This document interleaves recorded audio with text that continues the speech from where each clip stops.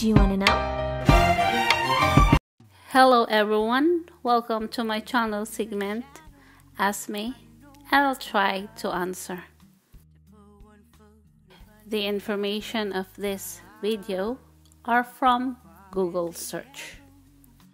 Our topic today is AdSense account disabled due to deceptive ad placement.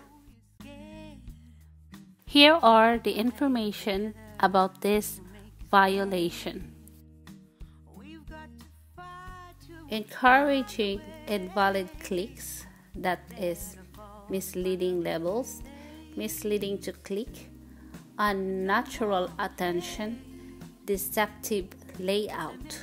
Publishers are not permitted to encourage users to click Google Ads in any way. This includes implementing the ads in a way that they might be mistaken for other website content, such as menu, navigation, or download links. For more information, see AdSense ad placement optimizations. This is all I got from this topic. If you want to learn more, just go to Google search. This is where I got my reference of this video from Google search. So that's it. Thank you for watching.